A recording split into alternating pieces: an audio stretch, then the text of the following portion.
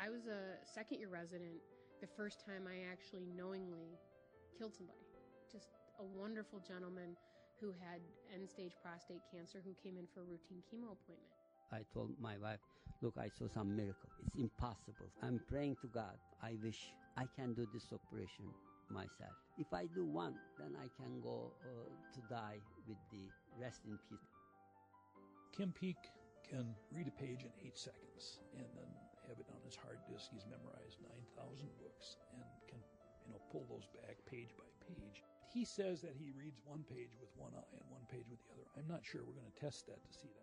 The elderly patient who looked up as I was doing the pelvic exam and said, Does your mom know what you do all day? and what do you say?